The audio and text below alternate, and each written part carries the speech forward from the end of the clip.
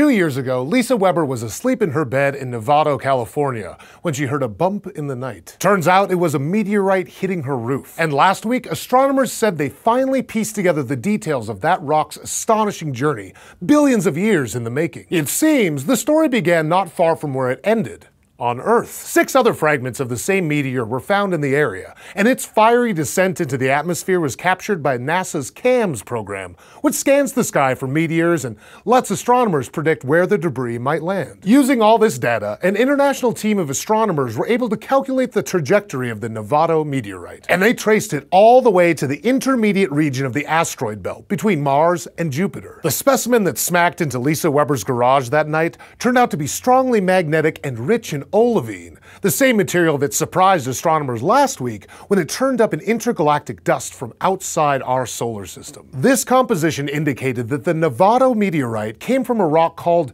an L-chondrite, and the poor guy seems to have had a pretty unstable life, pinging around the whole inner solar system and experiencing more than one collision along the way. To figure out all that this meteorite has been through, the researchers used radiometric dating. This can help establish the age of a celestial object by measuring the amount of radioactive isotopes it has. Because some events, like massive impacts, can create these isotopes, ionizing elements within the rock with their immense pressure, friction, and heat. And because we know at what rate these isotopes decay into other elements, the amount that's left can help us figure out how old the sample is and what's happened to it along the way. Using this technique, researchers found evidence in the Novato rock of a big impact, about 470 million years ago, an indicator that's common in other L-chondrites. But they also found traces of an even older impact, around 4.472 billion years ago. This is when astronomers think a massive body about the size of Mars collided with Earth,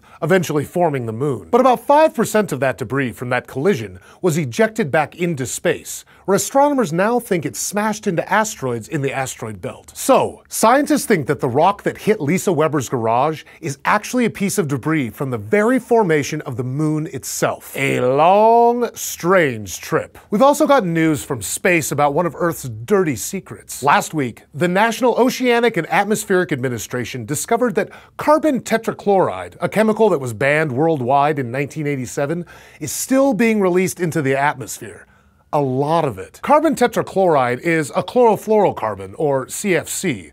We once used these chemicals a lot in things like aerosol sprays and foam food packaging. But once in the atmosphere, CFCs break down, and the resulting chlorine atoms attract oxygen atoms, breaking them off of ozone molecules. And we need those ozone molecules to absorb ultraviolet rays and protect Earth's surface from harmful radiation. By the 1980s, CFCs had depleted so much of the atmosphere's ozone that they were summarily banned. And for a while, scientists were relieved. They figured the CFCs would take about 25 years to break down or be absorbed by Earth's oceans and soil, so by now we should only have a small fraction of what there was before 1987. But instead of almost no carbon tetrachloride, NOAA found that around 39,000 tons of it were still being released each year between 2007 and 2012. That's about 30% as much as was released during the peak emission years of the early 1980s. Now, it could be that carbon tetrachloride just takes longer to break down than scientists thought, but more likely, someone is still releasing it and other CFCs into the atmosphere, ruining things, by which I mean the climate, for the rest of us. NOAA says it needs to do more research to pinpoint the source of these nasty emissions, like whether they're leaking out of old, contaminated sites, or if they're being farted out by factories illegally. Thank you as always for watching SciShow Space News. And if you want to keep exploring the universe with us, check out subbable.com slash scishow to learn how you can help support us. And don't forget to go to youtube.com slash scishowspace and subscribe.